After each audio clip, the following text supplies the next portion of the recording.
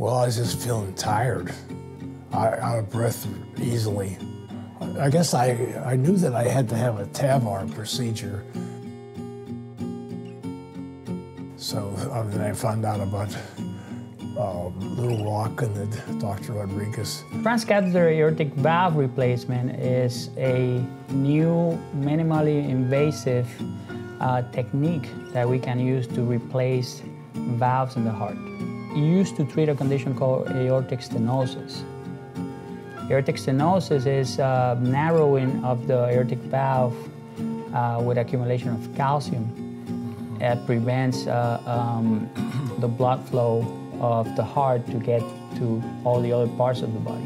It has changed basically the way we manage patients and uh, it, it has revolutionized the, the whole field of cardiology as we know it.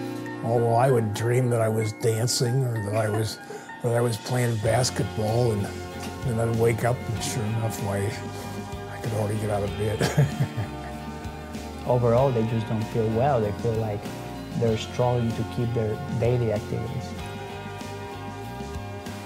Dancing was something I always enjoyed.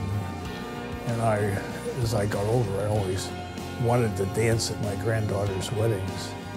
Well, I got three more to go, so this better last.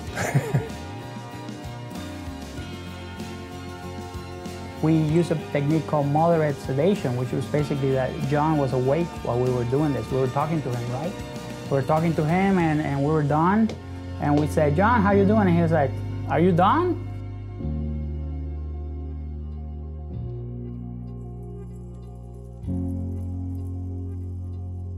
If a patient has been diagnosed with this condition and they, wanna, they want to explore whether they're a candidate for this, we're, we'll be glad to see them and evaluate them. We just love Dr. Rodriguez and we feel like he's part of the family.